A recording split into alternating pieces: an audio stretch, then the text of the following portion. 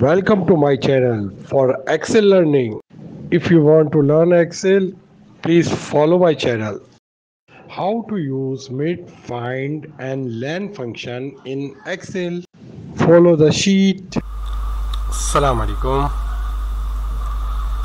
ये हमारा sample data है आज हम मीट के फार्मूले को समझने की कोशिश करेंगे और साथ साथ हम उसके आपको बताएँगे फाइंड और लैन के फ़ंक्शन को भी तो ये डिस्क्रिप्शन है डिस्क्रिप्शन में लिखा हुआ है my name is Adnan and I am living in Karachi अब ये जो डेटा है, ये एक मल्टी डेटा है, यानी बड़ा डेटा है। इसके अंदर से सिर्फ़ हम अदनान को चाहते हैं कि अदनान जो है हमारे पास अलग से लिखा हुआ नज़र आए।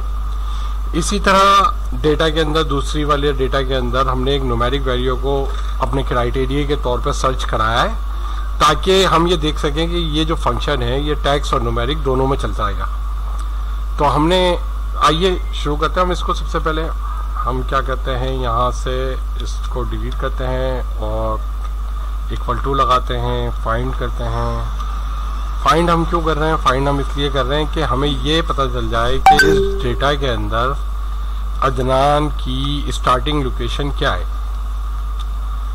ताकि हम एग्ज़िट नंबर को अटैम्प कर सकें।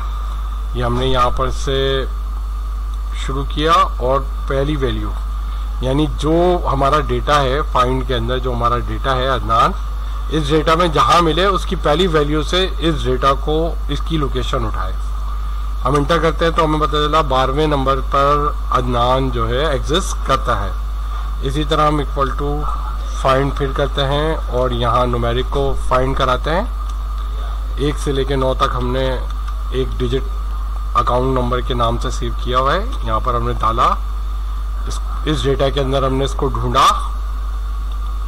तो हमें पता चला कि ये अट्ठारहवीं लोकेशन के ऊपर ये डेटा एग्जिस्ट करता है। इसी तरह अब जो डेटा हम सर्च कराना चाह रहे हैं मिसाल के तौर पे अदनान।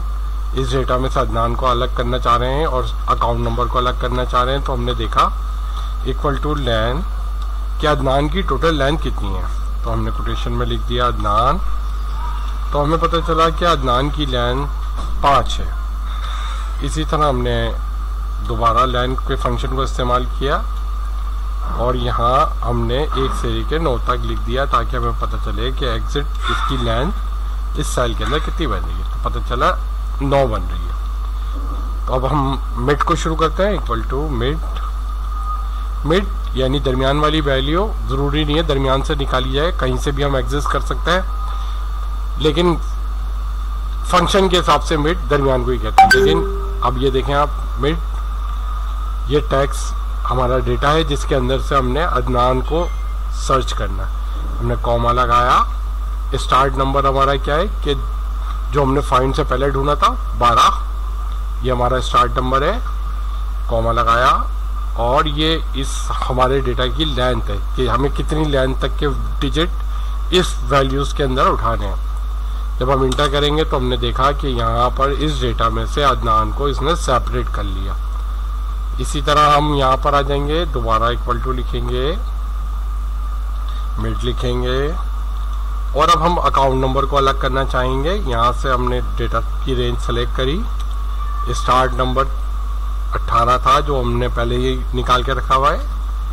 और ये नाइन के एक से लेके नौ तक में जो भी डिजिट आए, उनको लेकर आ जाए तो ये देखें आप, ये अकाउंट नंबर हमारा अलग हो गया।